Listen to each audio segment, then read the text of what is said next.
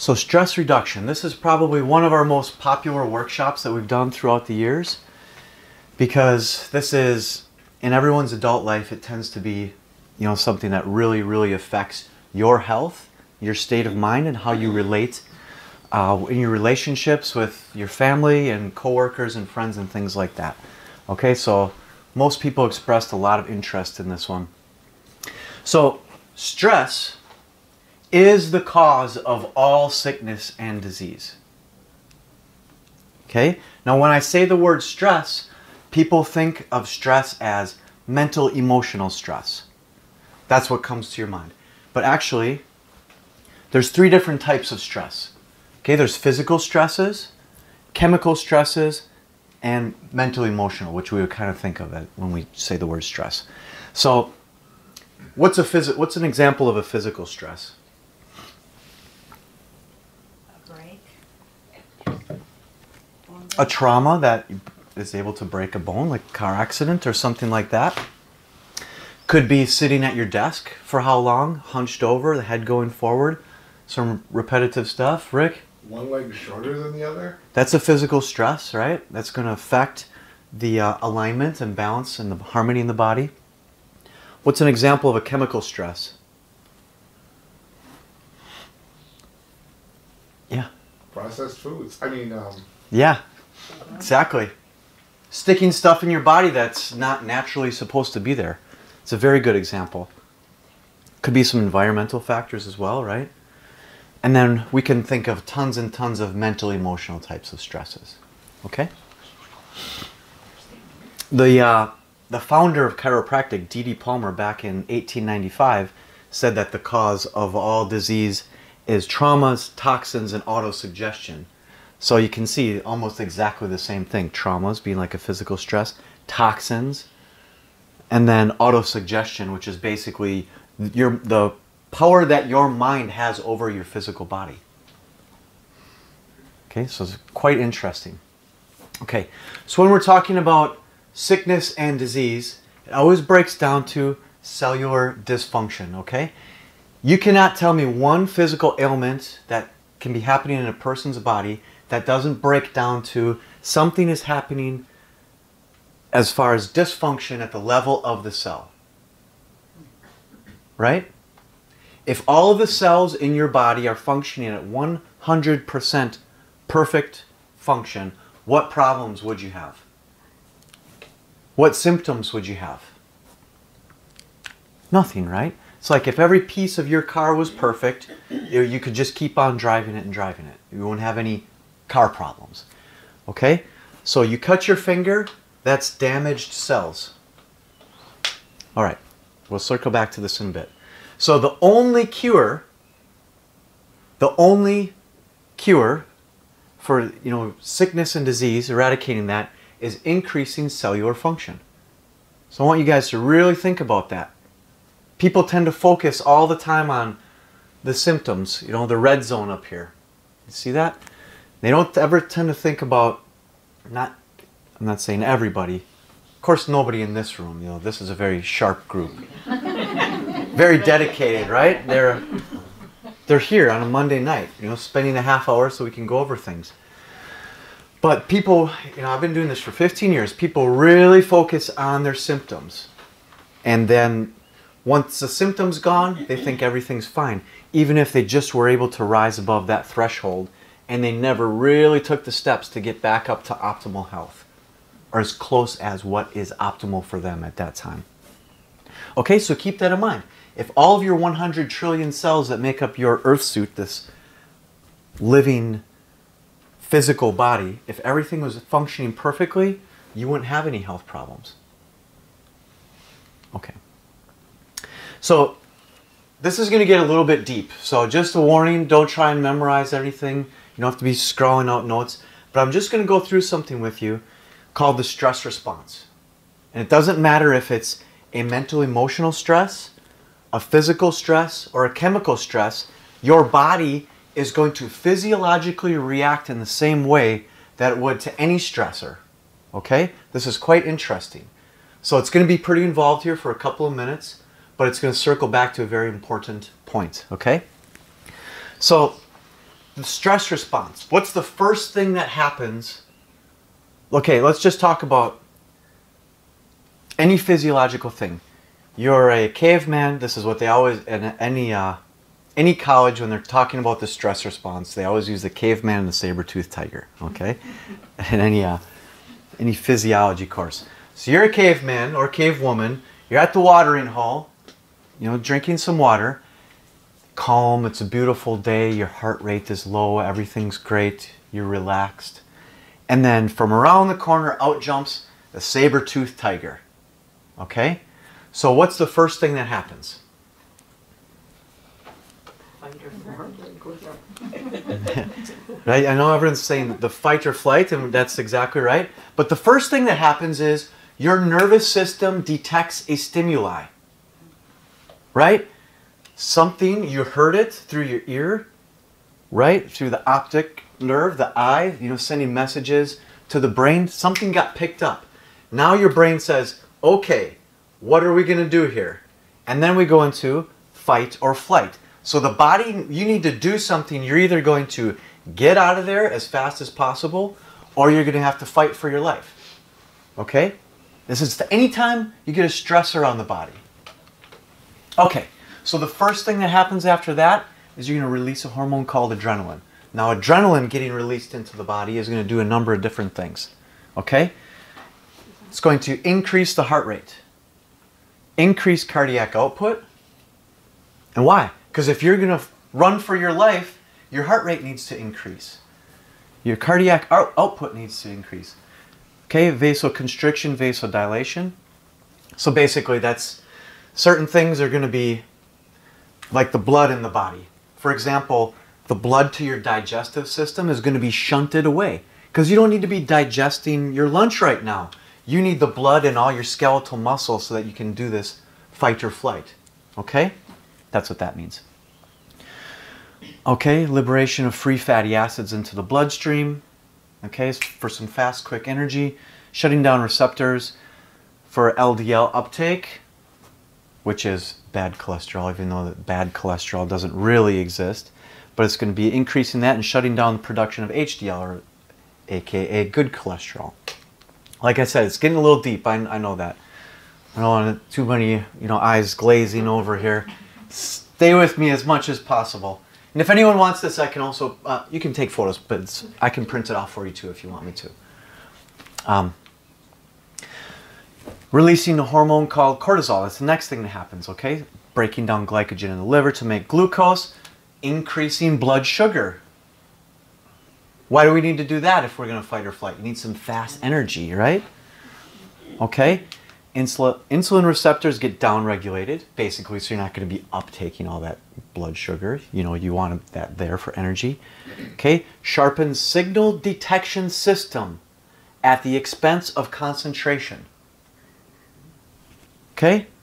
Because you don't need to have the Krebs cycle memorized right now and go through that. You're not going to be uh, able to calculate, you know, Pythagorean theorem right now. You don't need to do that. Concentration goes away so that you can be reacting in this fight or flight. Okay? Increased emo- emotional st- stress response. Decreased short term memory and rational thought. Again, because you're not going to be able to memorize things and concentrate. Okay? And then liberation of free fatty acids, increased cholesterol, which we talked about. Okay? What else happens when there's an increased, you know, increased cortisol in the body? Remember, this is any time that you're under stress. This could be, man, my workday really sucks. Or, you know, I'm having this argument with, with a friend, spouse, something like that.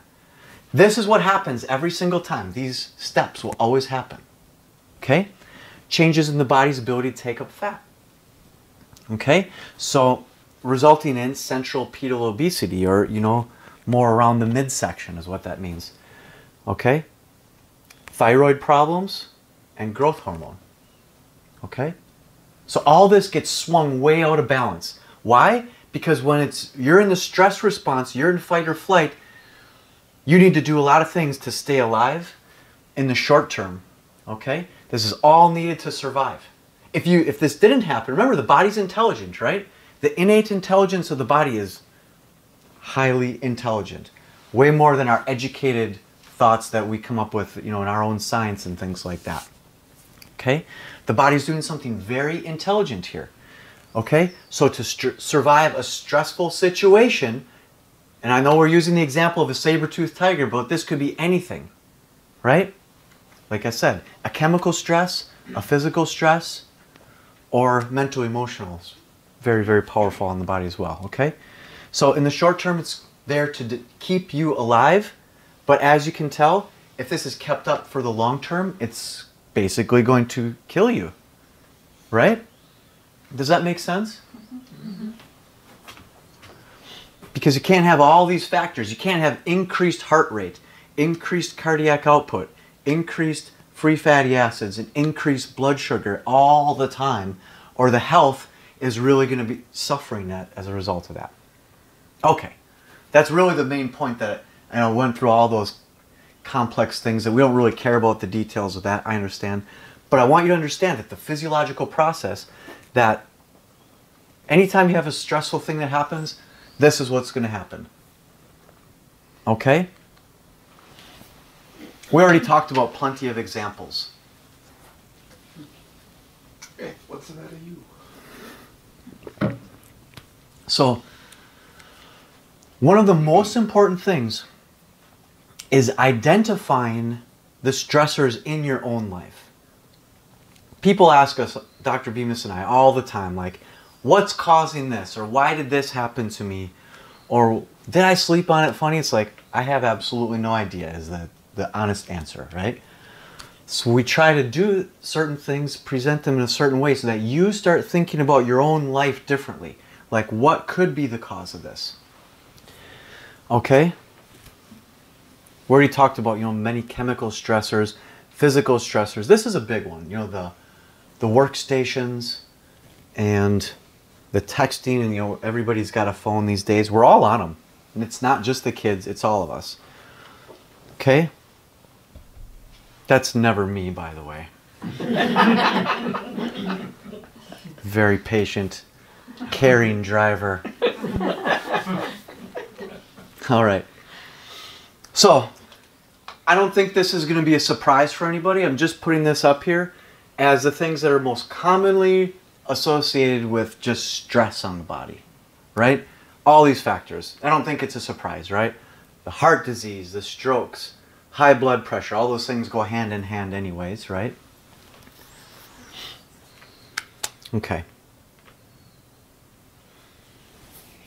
The overeating is something that comes into play as well because as as the body's chemistry is changing and the, the blood sugars and the free fatty acids, you know, the body's you actually have an increased physiological need or want for like these simple sugars and things like that.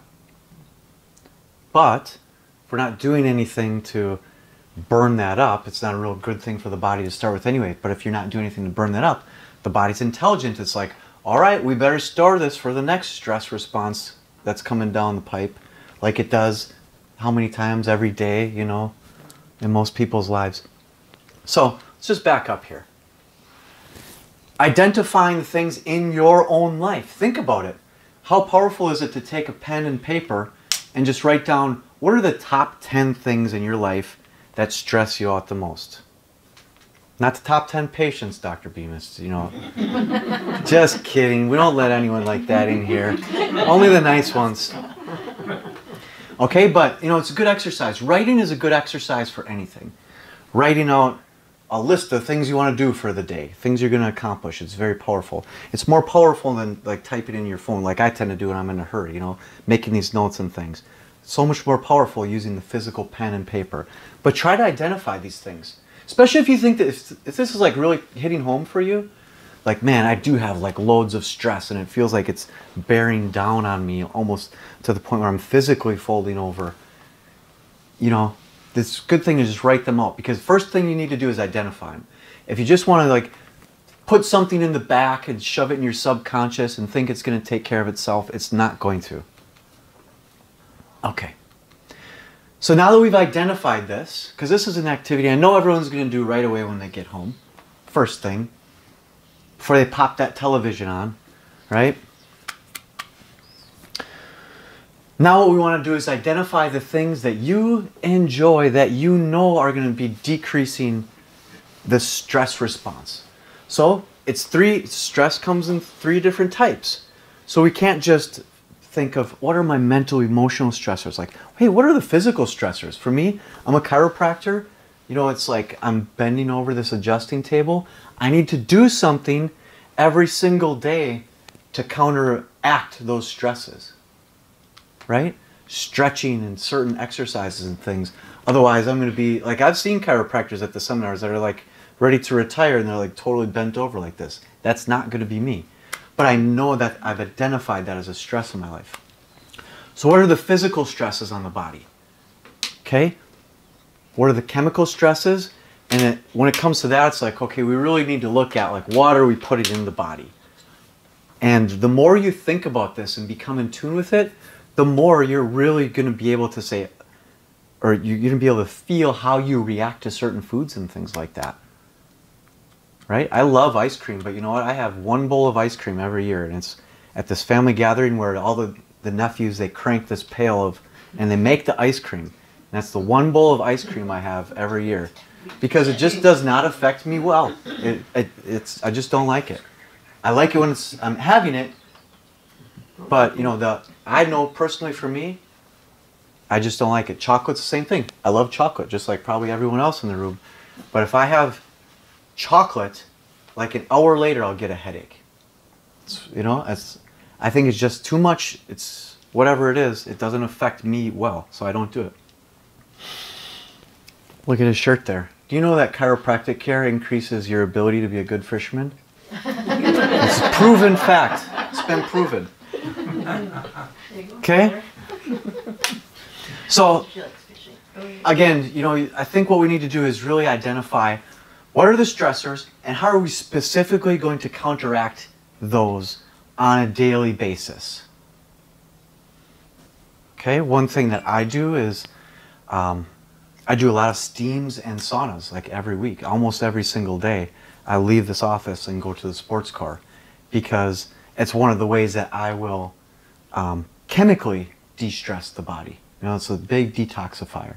And it's also a big mental, emotional detoxifier for me. Not really detoxifier, but more of just like a meditative, you know, I have to work with a lot of people during the day, so it's just a way to just be quiet and get back inside myself again so I can be who and what I need to be the next day. Okay? So one of the, the best things obviously, is chiropractic care. Now, I don't, everyone in here is pretty much, you know, has been adjusted. They know about this, but I'm going to go through some of the things that actually happens that's been clinically proven to decrease the stress response in the body, okay? So, obviously, you know, when we're back in adjustment, pain and symptoms tend to really disappear in the body. You know, we see that all the time. Doc, Doc and I, it's like people jump up off the adjusting table and they'll say, oh, that feels so much better already. Well, did the body really have that much of a chance to make new cells and heal everything up? No, but it's just like when things are in balance, the body is, knows when to go in the right direction. It's in there. Okay? More energy. Okay? Charging up the brain, sharpening the mind, increase visceral output. So it's all your organ systems, the things that you're not you know, consciously controlling, increased immune response. This is one thing that people get so surprised about. They're like, man, I used to catch every cold that came around, get the flu every year, and I haven't even been sick since I've been getting adjusted. Sounds like voodoo, but actually, when your nervous system is in balance, when your brain, spinal cord, and nerves are in balance and they're not getting stressed and subluxated on a weekly basis, of course your immune response is going to be better. Everything's in communication with the brain. The brain needs to talk to the body. The body needs to talk to the brain for you to be functioning up in our uh, optimal health zone here. Okay, like this. Everybody wants to be like this. If you're subluxated, your system looks like this. Right? Who wants to be like this? Nobody. Do you want to wait for pain and symptoms to show up? everybody wants to be like this, but there's only one way to get there is to have somebody call the chiropractor put their hands on your spine and check to see what needs to be adjusted. I'm a chiropractor. I don't know when I need to be adjusted. That's why Dr. Bemis gets me checked. He puts his hands on my spine and adjusts what needs to be adjusted. Okay? Inhibit adverse emotions. Well, that would be a good thing for any situation, right? Okay. So we already talked about, you know, hopefully you guys kind of have, you know, some things going in your mind of, hey, what are the things I'm going to identify as stressors? And then what am. I going to do to counteract that, Doc, basically? cut that.